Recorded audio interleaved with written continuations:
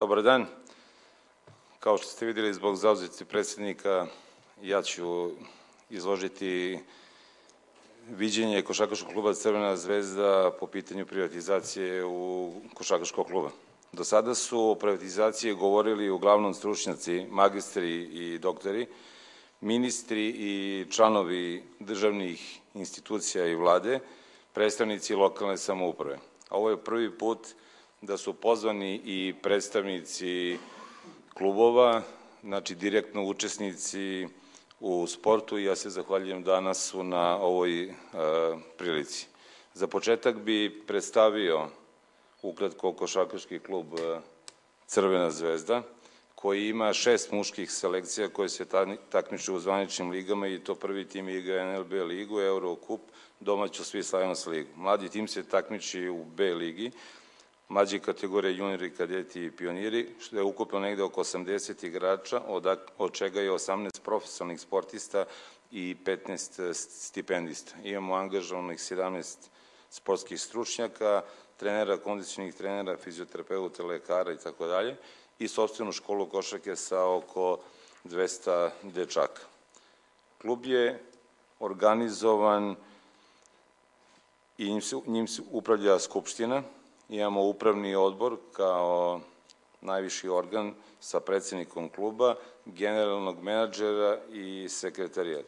Ukupno klub ima 34 zaposlene osobe u kojih ulaze i jedan deo i igrača.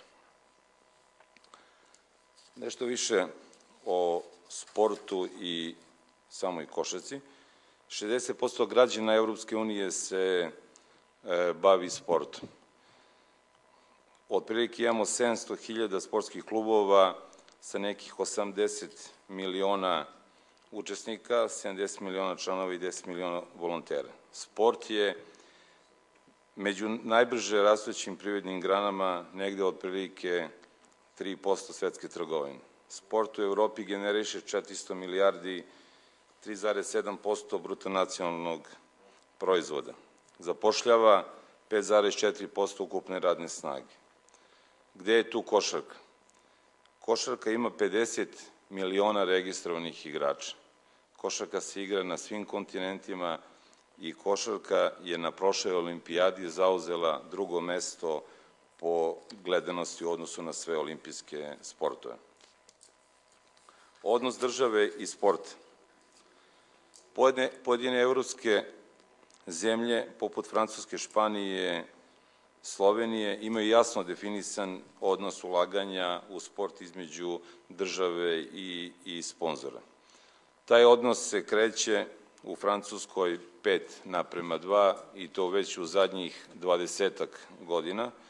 U Sloveniji, na primer, odnos 70 naprema 30.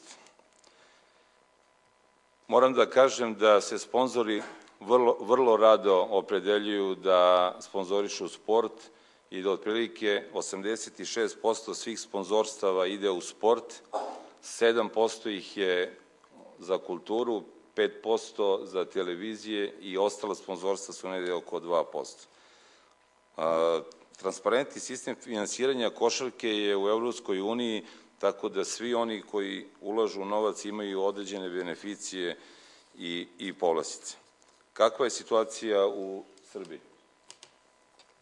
Formalno, odnos države i sporta uređen je Ustavom i zakonom iz 1996. godine i koji se primenjuje od 1997. godine. Znači, jedan dosta stari dokument.